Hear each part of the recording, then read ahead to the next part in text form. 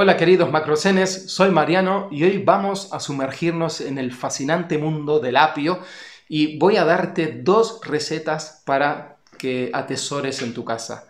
¿Y por qué te comparto esta información? Porque mi querida suegra también atesora en su casa muchas cosas, demasiadas. Su casa es un museo de sorpresas. Resulta que en uno de mis viajes a Madrid, mientras exploraba la biblioteca de mi suegra, sí, la temida biblioteca de mi suegra, encontré un tesoro oculto llamado el poder curativo de las plantas. Y créeme, descubrir algo valioso en la biblioteca de tu suegra es como encontrar un diamante en medio de una discusión sobre cuánto debes visitarla. No, la quiero mucho a mi suegra, es muy buena persona. De entre todas las propiedades saludables del apio, quiero destacar su contenido en calcio. Así es, el apio no solo es delicioso, sino que también es un aliado para tus huesos. Es como un superhéroe que fortalece tu esqueleto y te hace resistente a los chistes malos de tu suegra. ¿Qué más se puede pedir? También el apio eh, viene bien para tratar la nefritis, según aprendí en este libro. La nefritis es una inflamación de los riñones que puede provocar síntomas como dolor de espalda, fiebre y cambios en la micción. Pero no te preocupes, el apio puede venir al rescate.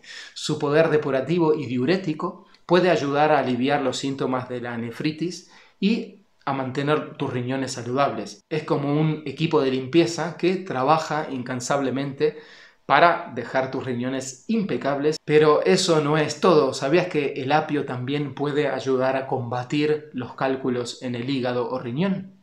Para combatir y eliminar los cálculos de hígado o riñón, tienes que hacer una decocción que incluye 20 gramos de raíz de apio, 30 gramos de parietaria y 30 gramos de raíz de perejil. Después hervir durante 10 minutos, dejar enfriar la decocción y tras filtrarla puedes disfrutar de 3 tazas al día.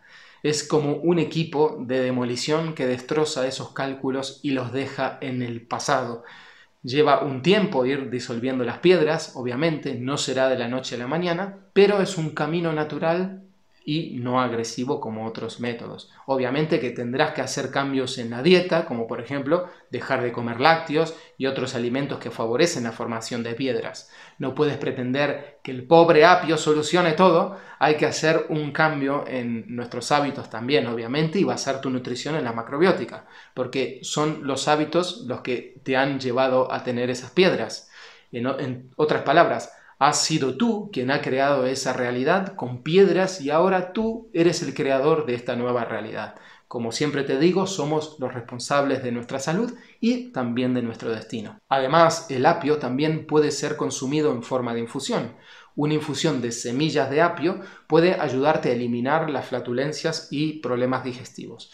La infusión se preparará con 5 gramos de semillas de apio en un litro de agua que se dejará enfriar para luego filtrarla y de la que podrás sacar tres tazas al día. Así que ya sabes, en caso de que tú sufras flatulencias o tu querida suegra, puedes prepararle esta infusión para limpiar el ambiente. Es como un desfile de globos que desinfla cualquier molestia en tu vientre y te deja sentir ligero como una pluma, incluso frente a los comentarios sarcásticos de ya sabes quién.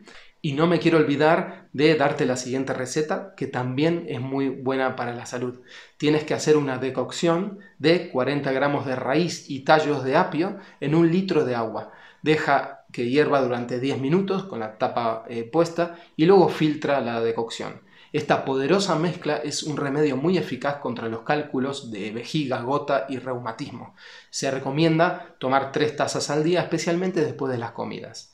Es como una tropa de guerreros que luchan contra el dolor y la inflamación, mientras tú disfrutas de una salud óptima y te ríes de los chistes de tu suegra. Y dale con eso.